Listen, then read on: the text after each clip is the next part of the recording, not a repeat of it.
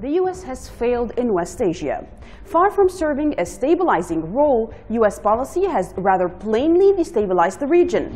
The Iraq War upended West Asia and fueled a new generation of Western-backed terrorists.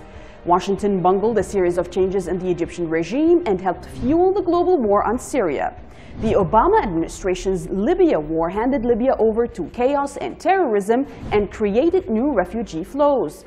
The U.S.'s long-standing support for Saudi Arabia, allegedly as a balance to Iran, has not only failed to roll back Iran's regional alliances, but it has also emboldened Riyadh to act aggressively against Yemen, causing an incremental genocide and then pick fights with several of its neighbors in the Persian Gulf.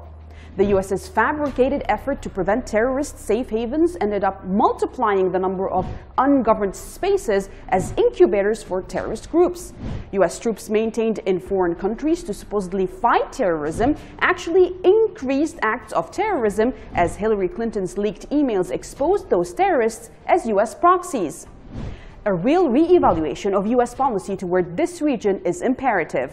After decades of trying, Washington has failed in its primary objective.